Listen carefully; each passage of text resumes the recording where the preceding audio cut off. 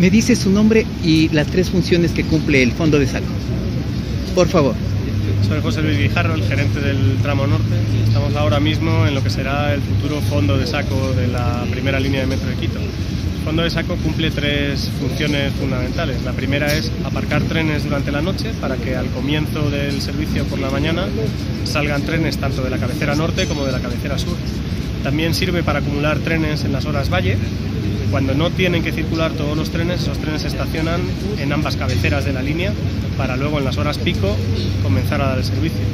Y la tercera función que tiene el fondo de saco y más importante es que es dentro de ese fondo de saco se produce el cambio de vía de los trenes que vienen del sur.